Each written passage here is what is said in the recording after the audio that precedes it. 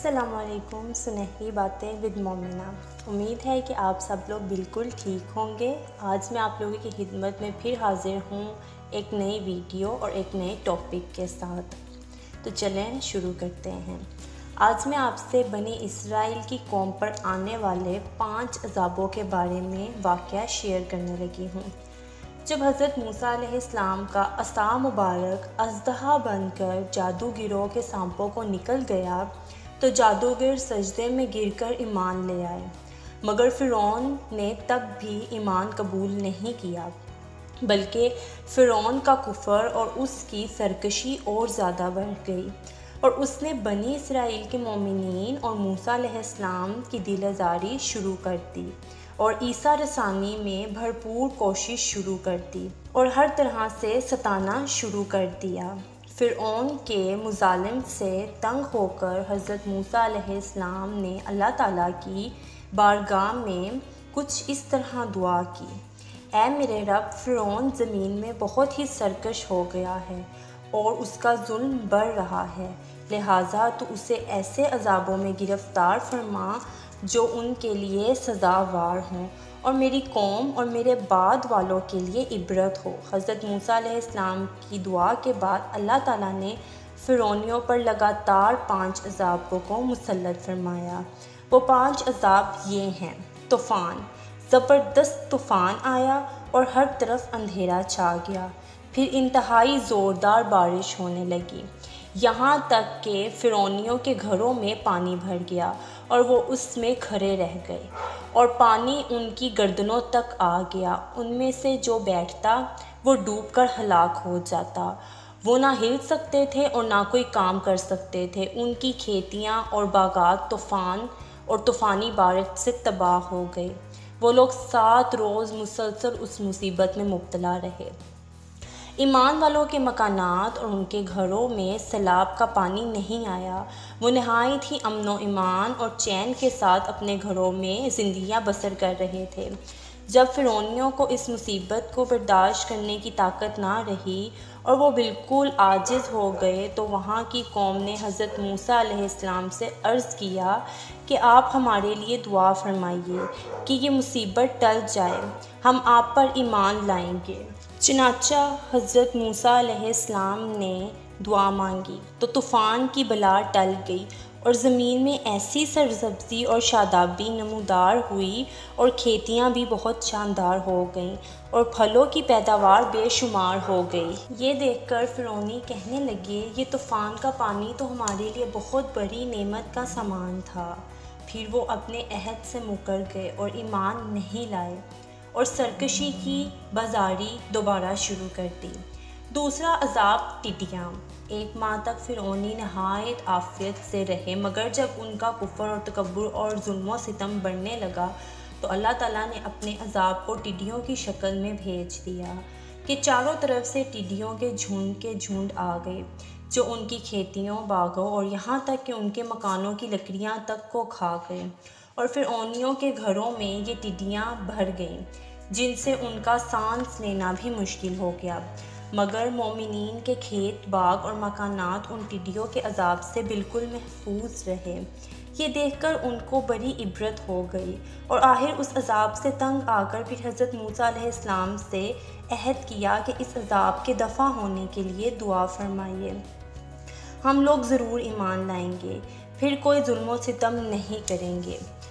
चनाचा हज़रत मूसा इस्लाम की दुआ से सात दिन के बाद ये ज़ाब भी टल गया और ये लोग फिर एक माह तक नहायत आराम से रहने लगे, लेकिन फिर अपने अहद से मुकर गए और ईमान नहीं लाए। उनके कुफर में फिर इजाफ़ा होने लगा। हज़रत मूसा और मोमिन को सज़ाएँ देने लगे और कहने लगे, हमारी जो खेतियाँ, फल बच गए हैं, वो हमारे लिए काफ़ी हैं।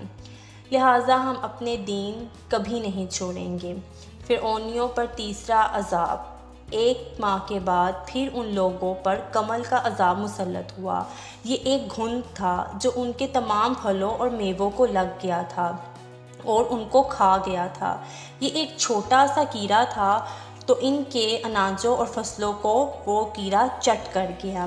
और उनके कपड़ों में घुस गया। उन्हें काट काट कर उनको तरपाने लगा। यहाँ तक कि उनके सर के बालों, दाढ़ी, मूछों, पलकों और चेहरों को काट काट कर उन्हें बेजार बना दिया। ये कीड़े उनके खानों, पानियों और बर्तनों में घुस जाते, जिससे ये लोग ना कुछ खा सकते थे और ना ही कुछ पी सकते थे। और ना लम्हा भर के लिए सो सकते थे। यहाँ तक कि ये लोग इस कहर से चीख पड़े और हज़रत मूसा इस्लाम के पास आकर दुआ की दरख्वास्त करने लगे और ईमान लाने का अहद देने लगे। चनाचा आपने उन लोगों की बेकरारी और रहम खाकर दुआ कर दी। और ये अजाब भी रफ़ा दफ़ा हो गया, लेकिन फिर ओनी फिर अपने अहद से फिर गए और पहले से भी ज़्यादा जुल्म सितम शुरू कर दिया। फिर एक माह के बाद उन लोगों पर मेंढक का अजाब नाजिल हो गया। उन फिर ओनियों की बस्तियों और घरों में अचानक बेशुमार मेंढक पैदा हो गए और ालमों का ये हाल हो गया कि जो आदमी जहाँ भी बैठता, उसकी मजलिस में हज़ारों मेंढक भर जाते। कोई आदमी बात करने या खाना खाने के लिए मुँह खोलता तो उसके मुँह में मेंढक कूद कर घुस जाते। हर वक्त उनके जिस्मों पर हज़ारों मेंढक सवार रहते, उठते, बैठते, लेटते, किसी भी हाल में मेंढकों से निजात नहीं मिलती थी उन्हें। इस अजाब से फ़िरौनी रो पड़े और रोते गिरगिराते हज़रत मूसा इस्लाम की बारगाह में दुआ की भीख मांगने लगे और बड़ी बड़ी कस्में खाकर अहदों पे माँ करने लगे कि हम ज़रूर ईमान लाएँगे।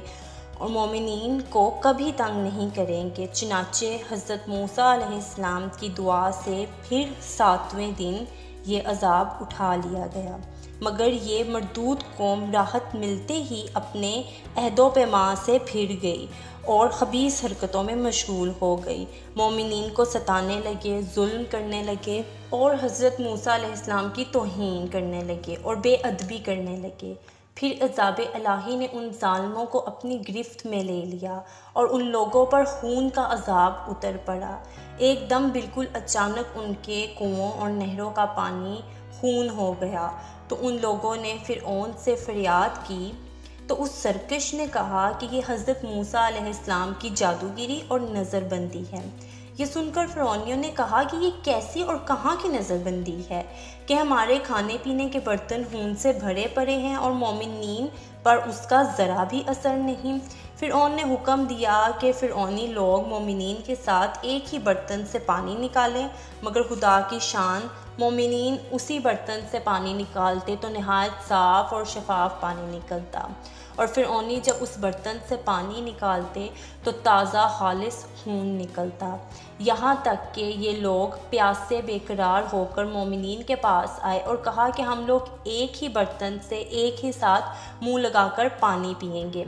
मगर कुदरत खुदावंती का अजीब जलवा नज़र आया। एक ही बर्तन से एक ही साथ मुँह लगाकर जब दोनों पानी पीते तो मोमिन के मुँह में जो जाता वो पानी होता और फिर ओन वालों के मुँह में जो जाता वो खून हो जाता। मजबूर होकर फ़िरौन और फ़िरौनी लोग दरख्तों के घास और जड़ें चुबा चुबा कर चूसने लगे, मगर उनका रस भी उनके मुँह में जाकर खून बन जाता। अलगर्ज फ़िरौनियों ने फिर गिरगिरा कर हज़रत मूसा सलाम से दुआ की दरख्वास्त की। तो आप इस्लाम ने पैगम्बराना रहम करम फरमा कर फिर उन लोगों के लिए दुआए खैर फरमा दी। तो सातवें दिन उस खून का अजाब रफा दफ़ा हो गया। उन सरकशों पर मुसलसल पाँच अजाब आते रहे और हर अजाब सात दिन बाद टलता रहा और हर दो अजाबों के दरमियान एक माह का फासला होता, मगर फ़िरौन और फ़िरौनियों के दिलों पर बदबख्ती की ऐसी मोहर लग चुकी थी कि फिर भी वो ईमान नहीं लाते थे और अपने कुफर पर अड़े रहते थे और हर मर्तबा अपना अहद तोड़ते रहे। यहाँ तक कि अल्लाह ताला के गज़ब और का आखिरी अजाब आ गया कि फ़िरौन और उसके बंदे और कौम सब दरियाए नील में नील में गर्क होकर हलाक हो गए। और हमेशा के लिए खुदा की दुनिया और अहद शिकनों और मरदूदों से पाक हो गई। ये लोग दुनिया से ऐसे नेस्तो नाबूद कर दिए गए कि रुए ज़मीन पर उनकी कब्रों तक की भी कोई निशानी नहीं है। अरशाद बारी ताला है तो भेजा हमने तूफ़ान, टिड्डी और घुन और मेंढक और खून जुदा जुदा निशानियाँ। तो इन्होंने तकबर किया और वो मुजरिम कौम थी। और जब उन पर अजाब पड़ता तो कहते ए मूसा, हमारे लिए अपने रब से दुआ करो और उस अहद के सबब जो उसका तुम्हारे पास है। बेशक अगर तुम हम पे से अजाब उठा दोगे तो हम ज़रूर तुम पर ईमान लाएँगे। और बनी इसराइल को तुम्हारे साथ कर देंगे। फिर जब हम उनसे अजाब उठा लेते एक मुद्दत के लिए तो वो अपने अहद से फिर जाते। तो हमने उनसे बदला लिया तो उन्हें दरिया में डुबो दिया। इसलिए कि तुम्हारी, हमारी आयतें झुटलाते और उनसे बेखबर थे। इस वाक़े से हमें ये सबक मिलता है कि इंसान को अपनी हैसियत कभी नहीं भूलनी चाहिए, और अगर उसको मौका, वक्त या अल्लाह की तरफ़ से छूट मिल रही है तो वो ये तकबर मत करे कि अल्लाह का उस पर कभी अजाब नहीं आएगा। इसीलिए अल्लाह की दी हुई हर नेमत का शुक्र अदा करना चाहिए और इंसान को कभी भी गरूर तकबर में मुबतला नहीं होना चाहिए। ये इसी चीज़ का सबक है। यानी हमसे पहले जो आई हुई कौमें हैं, इन हर कौम पर जिन्होंने इस्लाम झुटलाया, अल्लाह को झुटलाया उनके पैगम्बरों को दीनी मान जिनका एक नहीं था, उन पर तरह तरह के अजाब आए हुए हैं हमसे पहली कौमों पर। तो हमें इनसे सबक लेना चाहिए। इसी के साथ मुझे आप लोग अपनी दुआ में ज़रूर याद रखिएगा ताकि मैं मज़ीद मालूमती वीडियोज़ के साथ आपके पास ज़रूर हाज़िर हूँ दोबारा। मेरी वीडियो को लाइक, शेयर, सब्सक्राइब और कमेंट लाजमी कीजिएगा। जजाकल्ला मेरे चैनल को सब्सक्राइब करें और बेल आइकन के बटन को दबाना मत भूलिएगा।